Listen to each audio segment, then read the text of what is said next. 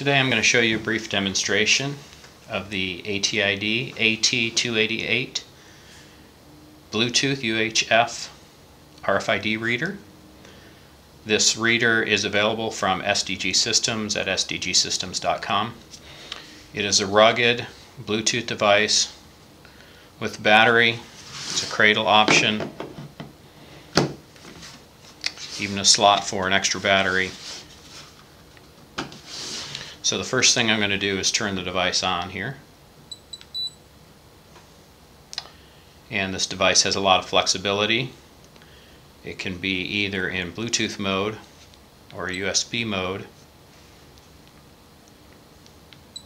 We're going to use it in Bluetooth mode. It can scan one tag or multi-tags and can um, read the uh, ISO UHF standard for 6C or 6B and ours is set to 6C.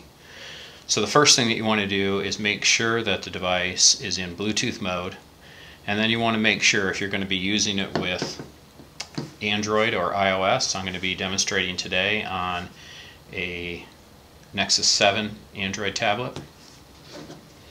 You want to make sure that the device is in HID mode. So there's two modes. SPP, serial port profile, and HID, human interface device, or the keyboard wedge.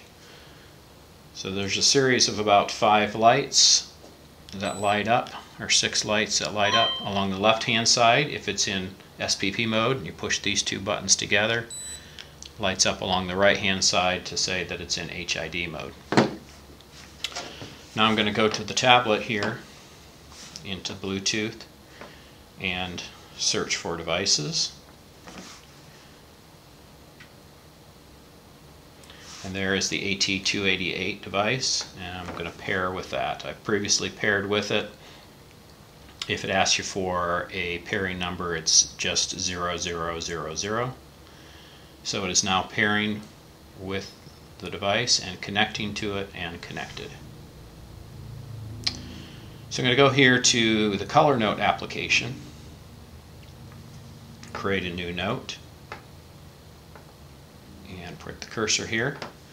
Now you notice that the cursor is here but the keyboard didn't didn't pop up. So what we're going to do is go into the input method where it says choose input method and it says hardware physical keyboard on. That means that only the AT288 would be reading into the text field. We want to be able to do both, so we're going to turn that off. Refocus our keyboard uh, cursor there, and the keyboard pops up again.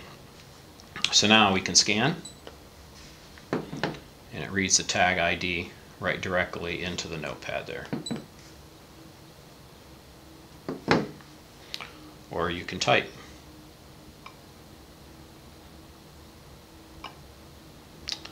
That is the AT288 UHF RFID reader with Bluetooth connectivity.